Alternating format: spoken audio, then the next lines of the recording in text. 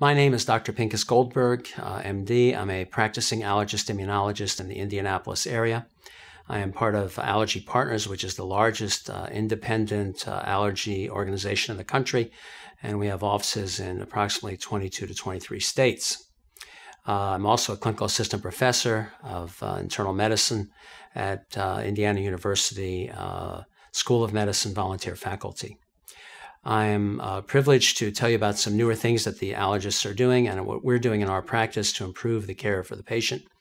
Uh, we're trying to incorporate newer technologies into the clinical and community and community allergy practice. Uh, the technologies we're using are devices such as the Niox Pheno machine. This measures nitric oxide gas in parts per billion. And at certain levels, this is elevated in asthmatic and type 2 or Th2 type inflammation in the lungs. And uh, this allows us to better differentiate allergic asthma from non allergic asthma with a very simple test at a very uh, reasonable cost. In addition, in those patients who have continuing respiratory problems, we uh, have a device called a Restech uh, device, which allows us to measure the pH in the upper uh, pharynx, approximately at the level of the uvula, which can be used to diagnose laryngeal pharyngeal reflux. Many patients who come in with coughing and other symptoms suggestive of asthma have primarily, re- have primarily reflux as the uh, cause of their respiratory symptoms. They're often treated with large amounts of corticosteroids and other measures that really don't help the patient in the long run.